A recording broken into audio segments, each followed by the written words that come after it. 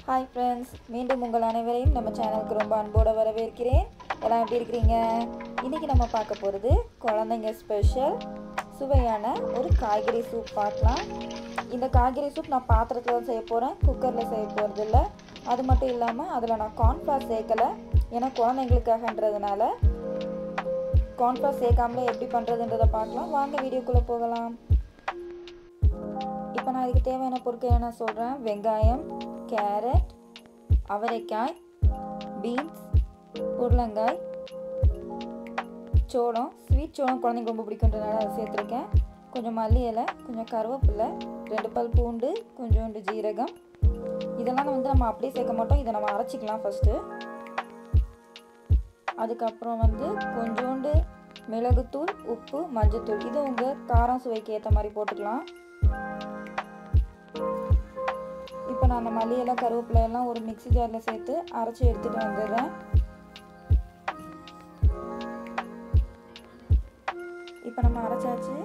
இப்போ நான் ஒரு பாத்திரத்தை அடுப்பில் வச்சு தண்ணி ஊற்றிருக்கேன் இந்த தண்ணியோட அளவு என்னென்னு பார்த்தீங்கன்னா ஒரு நார்மல் சூப் பவுல் இருக்குல்ல அதில் வந்து மூணு மடங்கு தண்ணி ஊற்றிருக்கேன் ரெண்டு பேர் இது தாராளமாக சாப்பிடலாம். இப்போ நான் காய்கறி எல்லாமே இந்த பாத்திரத்தில் சேர்த்துக்கிறேன். எல்லா விதமான காய்கறியும் சேர்த்துக்கோங்க. வெறும் இங்கிலீஷ் காய்கறி மட்டும் சேர்க்காதீங்க. நாட்டு காய்கறி கூட நிறைய சேர்த்துருக்கோங்க குழந்தைங்களுக்கு. இப்போ இதில் தேவையான அளவு உப்பு மஞ்சத்தூள் பெப்பர் எல்லாம் உங்களுக்கு உங்களோட ருசிக்கு ஏற்ற மாதிரி நீங்கள் சேர்த்துக்கோங்க. காரம் வேணால் லாஸ்ட்டில் ஒரு நேரம் கூட பெப்பர் நம்ம சேர்த்துக்கலாம். இப்போ நான் மூடி வச்சிடுறேன். அது கொஞ்சம் நல்லா வேகட்டும். இப்போ பாருங்கள் நல்லா இந்த ஸ்டேஜில் நம்ம வந்து அரைச்சி வச்சுருக்க கருவேப்பிலை மல்லியிலையை சேர்த்துட்டு திருப்பி ஒரு கொஞ்ச நேரம் மூடி வச்சுக்கலாம். இது பாதியாக வற்றணும் இப்போ பாருங்கள் நல்லா வத்திருச்சு.